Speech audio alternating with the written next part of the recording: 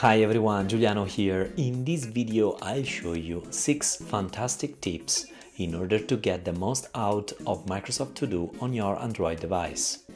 We will see how increase the productivity working with tasks on your Android device. Okay, let's go. Here we go on my Android device. This is my Xiaomi Mi 10 Lite and here I have of course Microsoft To Do installed. Now I want to show you the first tip, which is reminders to plan your day. In fact, moving here the panel of notification, I can see that Microsoft To Do remind me that I can set up my day. So I can click on this notification and my day show up.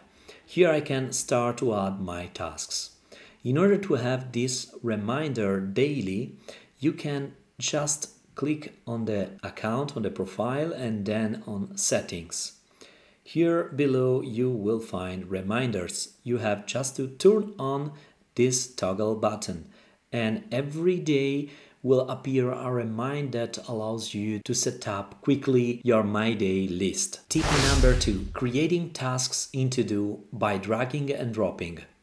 Here I have two apps opens.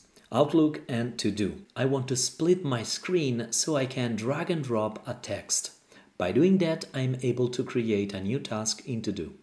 I will just tap on Outlook and I will use this, this view split screen. Then I will open To Do. Now on top I have Outlook and below I have To Do. Now from this text I want to create a new task. Then I will select this text and I will just drop here my text. This will allow me to create a new task in the list blog of Microsoft To Do. Tip number three, home screen shortcut. Let's say that I need to check every day a tasks list in Microsoft To Do. For example, grocery. All I need to do in order to pin this tasks list in my home screen is tap on the ellipsis button in the top right corner and then add shortcut to home screen. Add automatically and this will create a tasks list on my home screen. Moving now on my home screen, I have here this grocery tasks list just added. I can tap on it and here we go, I have the list open. This will allow me to check frequently this list. Tip number four, to do widget. On my screen, I can add my day as widget.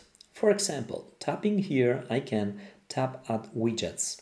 Scrolling at the bottom, there is the ability to add Microsoft To Do as widget. And here we go. Tapping here, I am able now to drag and drop in the position that I want and that I prefer my day as widget. So tapping again, I can maximize this window, for example. And here we go. Now, without opening the app, I can just click on the plus button and create my task here. And here we go. I have a quick overview of all my tasks that I have to complete in my day. Tip number five, swipe tasks. Let me open the grocery list. So for this evening, I want to eat sushi because I like it. So I can add this sushi just by swapping on the right in order to add this task to my day. Or eventually I can swipe left to delete this task. Last tip, number six, quick add. From the notification area of Android, I can add a task. So all I need to do is just tap on my profile picture, settings, and then in the section notification, you can find quick add notification. Turning on this feature will allow you to add directly from the notification area a task. Here I have to do quick add. Tapping on it, this will open to do and here I can just create immediately a task. I can decide in which list I want to add this task. For example, grocery. I can set due date, remind me, and repeat.